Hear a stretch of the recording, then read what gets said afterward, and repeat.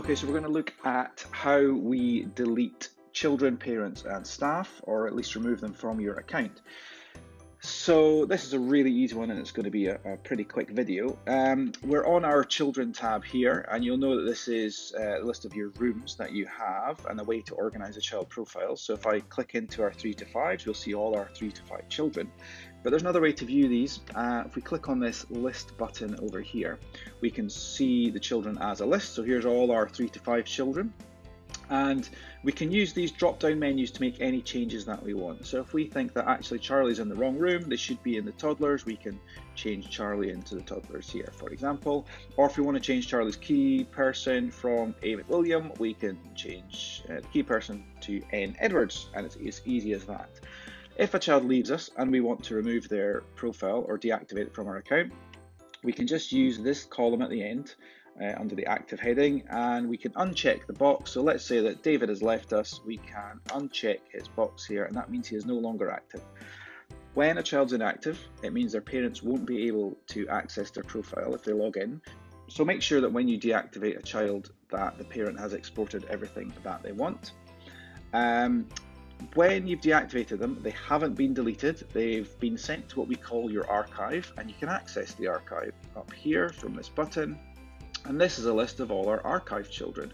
So here we can see David is now in our archive and we can safely um, reactivate him by checking this box here to make him active again if he returned or if we deactivated him by accident.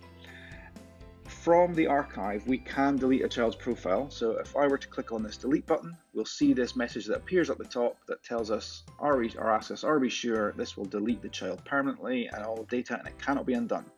So once a child has been deleted from your archive, then they cannot be uh, returned. So please bear that in mind before you go deleting profiles.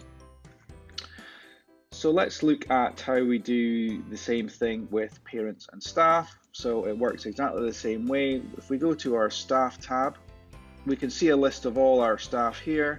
So let's imagine that our staff member Sandy is leaving us here. She's moved on to another position. Uh, if we edit the profile, we'll see all the roles that are available. If you have a primary school attached, you will see primary school roles that are available.